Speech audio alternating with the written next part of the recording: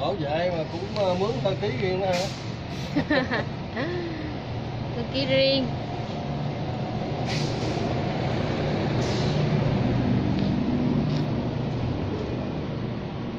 Ủa chú làm hồi bữa giờ luôn hả? Hay là mới vô? Chú á? Dạ. từ đầu tới giờ là bao nhiêu năm rồi hả? Ở bằng cái công trình hả? À.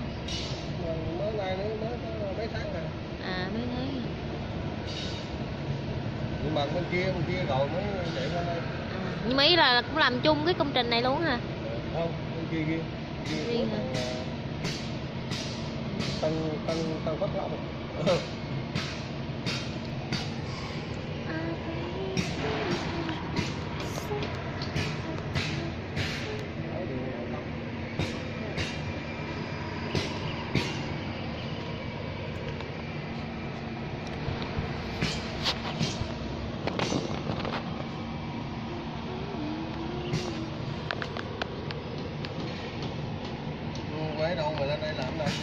con hả con bình dương luôn dạ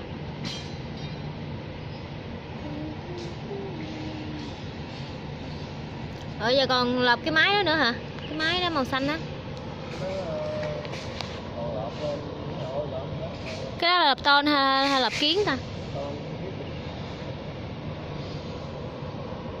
À. còn đổ vào xong từ đẳng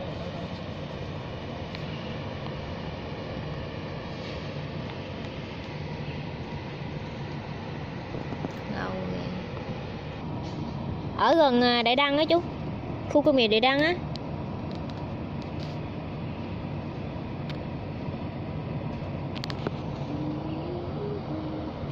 Đây chạy về trên Bình Phước mà chạy đường nào Bình Phước. Ủa chú Bình Phước hả? không ở mà chạy về công nghiệp thành phố Đồng Phú à, con không biết nữa. Ờ ở đây hả? Nay mình chạy ngay chỗ à, gì à, sở sao nè. Ra ngoài đường đường Vi ship rồi có cái đường thẳng lên đó.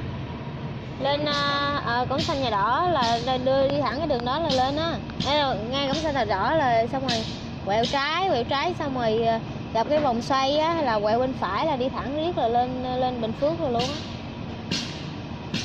Chú làm khu công trình ở đó nữa hả?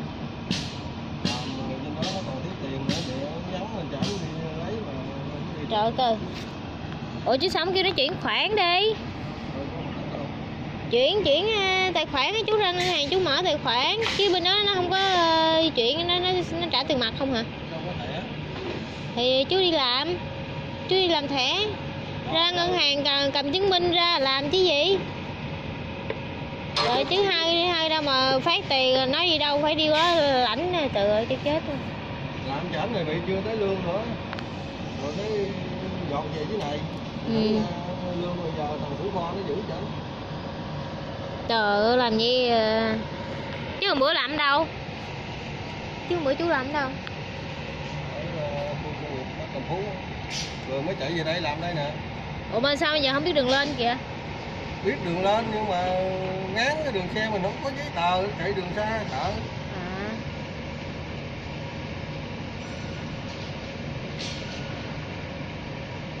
Vậy là cái công ty này là cũng ờ, của ờ, Trung Quốc hả? Ý là chủ bên chú á. không đó Chủ ý là ng- ng- chủ chủ của bên chú á, bị chủ công trình á. Đi trả lương cho chú là Trung Quốc người Trung Quốc luôn.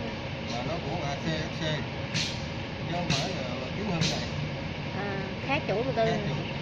Quốc Ủa vậy thì sao biết à, chỗ nào xin? Có người giới thiệu hả hay sao? nó dưới đây nè đây rồi nó mới chuyển về À, trển bị công trình mới nó nắng quá trời chịu lắm trời đây nắng nắng hơn dưới đây nhiều hả? Dưới đây còn mát á hả? Đó dạng cái gì ta? Cái đó dạng coi như là rừng luôn rồi rừng xong rồi nó mới uh, ấy rồi đó. Trển bị mà nó mới ờ, mà ban hết rồi trơn phải không? Xong rồi đầu mới xây dựng. mà. mới vụ cột rồi nó còn cỡ mấy tháng một tháng mấy hai tháng nữa mới lên sàn nổi mà đó là công ty hả? Lớn không chú? Lớn hơn công ty này không? Lớn lắm hả?